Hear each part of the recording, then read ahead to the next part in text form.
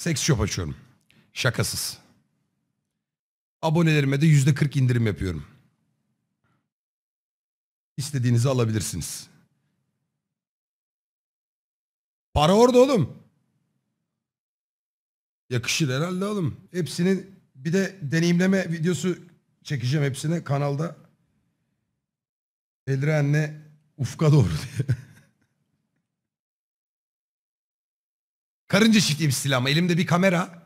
Ben arkada arka sesim. Yani bir nevi third person. First person pardon. Third person beni görürsün. Oradan da like'larınızı ve yorumlarınızı bekliyorum. Bütün influencer arkadaşlarıma da ürünleri göndereceğim. Bedava. Reklam yapsınlar.